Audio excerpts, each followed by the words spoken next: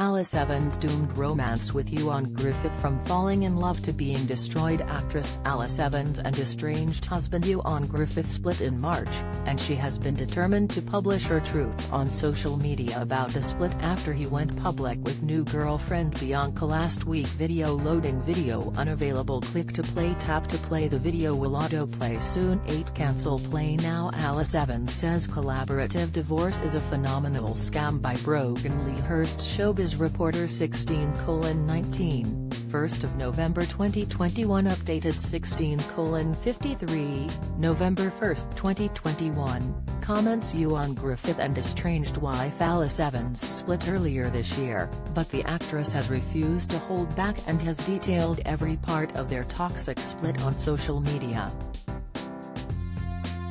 They ended their union earlier this year after 13 years of marriage, but it has hardly been an amicable split.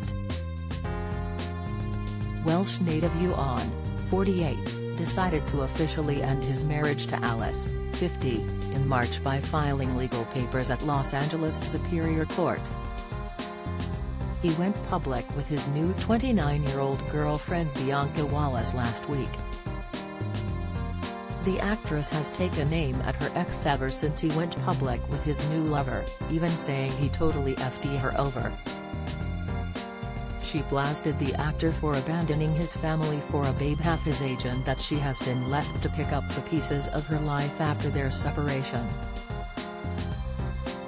But before they split, the couple appeared to have an incredible relationship as they were together for over a decade.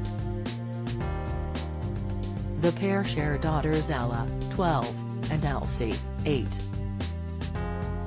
They first met during the filming of 102 Dalmatians, while she was in a relationship with Olivier Widmer Picasso, a grandson of painter Pablo Picasso. After they tied the knot in 2007 in Mexico, Ioan was given an ultimatum by Alice, he told The Independent, Alice has been very patient with my procrastinating with my male ways. She did give me somewhat of an ultimatum, a gentle nudge, which was the best thing she could do, really. Their marriage was plain sailing until cracks slowly started to show, and one year before the announcement, her husband had spoken about them struggling to make things work. The actor, best known for starring in the Fantastic Four movies, admitted it was hard for them to make time for each other. He told The Guardian last February, I think we've struggled the past four years, making time for each other because physically we're apart. Despite facing criticism from thousands, Alice has been determined to publish her truth on social media about the split and in the last few days Camp Ioan and his new actress girlfriend have come out to have their say on the saga, with many painting the mom of two as less than innocent. She has vowed to write a tell-all memoir on her breakup, then wrote a first-person piece for the Daily Mail on just how her marriage split destroyed her and made her feel dead. The actress revealed her estranged husband promised her he would leave her if she ever gained weight. She ironically tweeted, I guess he was true to his word this time. She wrote, someone mentioned online that you unliked slim girls and I agreed. He had, after all, told me several times over the years that he couldn't abide fatties and that he would leave if I gained weight. I guess he was true to his word this time, I tweeted. It would almost be funny, were it not so terrible. So, how did it end up like this? I still can't work out how a love as strong as ours ended up going so badly wrong. I first met Ioan in 1999 on the set of 102 Dalmatians. He was a bit cocky then, but by the end of the film we were besotted.